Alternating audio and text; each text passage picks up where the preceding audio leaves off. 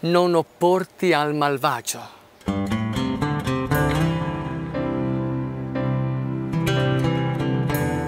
Cristo è risorto! Buona giornata carissimi amici e buon inizio settimana. Vedete che oggi sono in un luogo speciale, è il Sacro Monte di Europa dove ieri abbiamo celebrato la messa del nostro pellegrinaggio zonale della Valle Strona. Ascoltiamo da questo posto il Vangelo secondo Matteo capitolo 5 dal 38 al 42. In quel tempo Gesù disse ai suoi discepoli, avete inteso che fu detto occhio per occhio e dente per dente, ma io vi dico di non opporvi al malvagio, anzi, se uno ti dà uno schiaffo sulla guancia destra, tu porgili anche l'altra a chi vuole portarti in tribunale e toglierti la tunica, tu lascia anche il mantello. E se uno ti costringerà ad accompagnarlo per un miglio, tu con lui fanne due, da a chi ti chiede e a chi desidera da te un prestito non voltare le spalle. Amen. Carissimi amici, oggi il Vangelo ci parla e continua il discorso sulla montagna, dove Gesù ha pronunciato la legge antica aggiungendo qualcosa di speciale, portando a compimento quella legge. Abbiamo ascoltato la settimana scorsa alcuni tratti dove si parlava di non uccidere e Gesù ha detto non parlare male del tuo fratello nella legge si diceva non commetterai adulterio. Gesù ha detto non desiderare una donna con i tuoi pensieri. E oggi Gesù prende quel proverbio famoso occhio per occhio, dente per dente, quindi un proverbio vendicativo. Potremmo dire un proverbio che è innato in noi, perché è una naturale inclinazione, la vendetta. Quando qualcuno ci fa qualcosa è chiaro che noi incassiamo il colpo e poi prima o poi la faremo pagare. È così, è una disposizione naturale. Lo fanno gli animali, lo fa anche l'uomo. E nella legge antica Dio stesso aveva detto occhio per occhio, dente per dente. Quindi una giustizia potremmo dire distributiva, perché hai fatto qualcosa, riceverai qualcos'altro nel male o comunque come punizione. Gesù dice io vi dico di non opporvi al malvagio. Oggi Gesù viene a farci tremare. Perché? Perché so molto bene.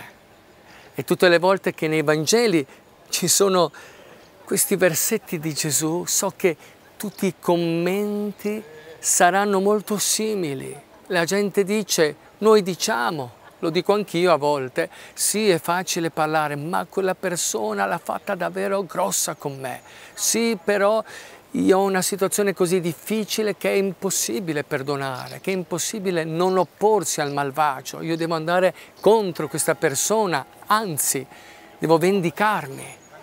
Gesù dice invece tu porgi l'altra guancia tu a chi ti vuole prendere qualcosa, daglielo. Ecco, non è che Gesù ci insegni un principio ingenuo. Permettetemi, un principio stupido, senza senso. Sì, questo qua, chi è che obbedisce a, a questi principi, a questa legge di Gesù? Ma chi ce la fa a non opporsi al malvagio? Ma se una persona mi ha fatto davvero del male, io devo vendicarmi devo fargliela pagare. Gesù ci sta portando un nuovo principio ed è rivoluzionario, quello dell'agape, che è un principio divino, non è un principio umano. Il principio umano è la vendetta. È che se qualcuno ti fa male, tu rispondi al male. Poi, anche in questi giorni, io so che ci sono tantissime eccezioni che noi possiamo tirar fuori lo so, però in questo caso, come oggi ci hanno detto, noi dobbiamo guardare a quello che comunque Gesù ci vuole dire, ci vuole aprire la mente e lo fa attraverso lo Spirito Santo, perché senza lo Spirito Santo queste parole non valgono nulla, sono impraticabili e sono impossibili. E noi avremo liste intere e spero che voi non me le facciate oggi nei commenti. Io questa situazione ormai anni e anni ci ho provato e non riesco. Lo so e Dio volete che non lo sappia tutto questo, tutto ciò che ti è accaduto, tutto ciò che mi è accaduto, ma Dio ci sta innalzando, ci sta portando ad un altro livello, il livello dell'agape che è l'amore che viene dall'alto, che è l'amore che viene dallo Spirito Santo. Senza lo Spirito Santo è impossibile amare, è impossibile essere buoni, perché prima o poi ci arrabbieremo, ci indigneremo, ci vendicheremo e diremo, Signore, grazie che mi sono vendicato.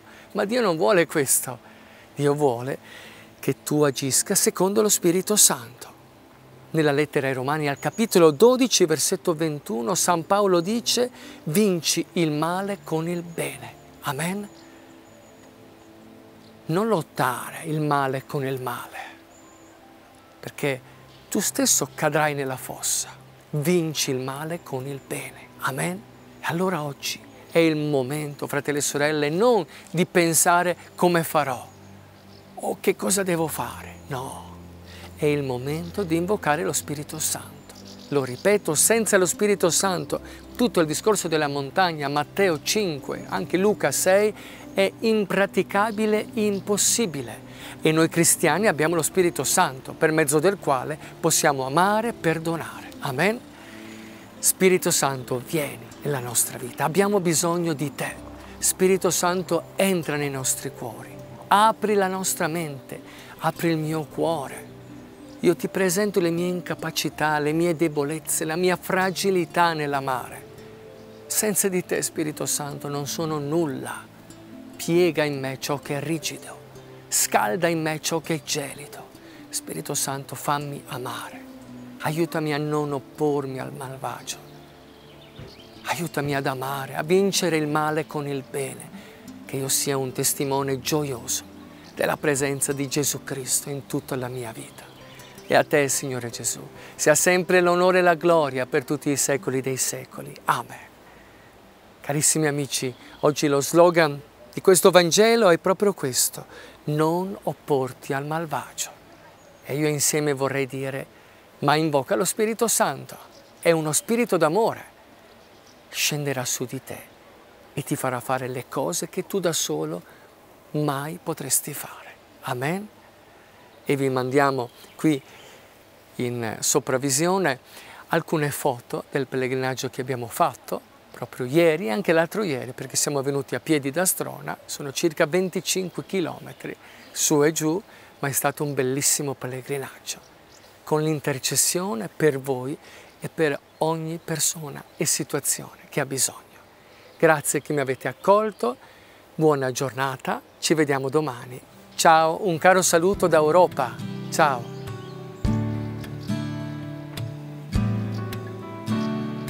Tu sei sacerdote per sempre. Cristo Signore, sacerdote per sempre. Cristo Signore, Oracolo del Signore al mio Signore. Siedi alla mia destra, finché io ponga i tuoi nemici a sgabello dei tuoi piedi. tu sei sacerdote per sempre. Cristo Signore, Lo scettro del tuo potere stende il Signore da Sion.